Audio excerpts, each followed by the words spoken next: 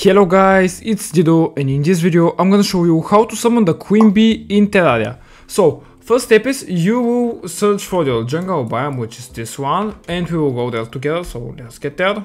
Okay guys, once you're in the jungle biome now you have to look at my minimap.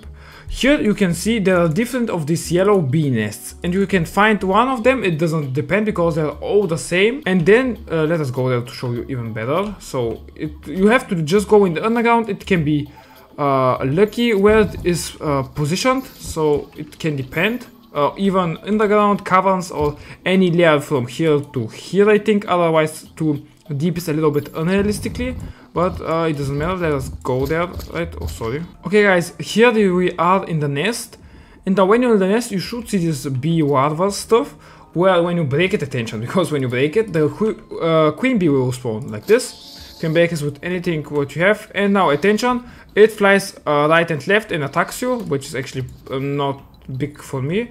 But I can recommend you, it's not that hard of a boss that you can defeat, of course. You're gonna do like this. Collect all the nice stuff. I recommend you if you get one of this bow or this this uh, mount as an example, you can collect this. It drops you kinda valuable items, which are really good. And yeah, I would recommend you otherwise to watch this video because we are done and if I help you with this video I would very appreciate if you subscribe to my channel, it really means a lot to me. And if you have nothing to do maybe it's a good idea that you join my discord, links in the description because then you can maybe uh, find some new people that you want to play Terraria with of course. And otherwise I wish you a very very nice day, goodbye.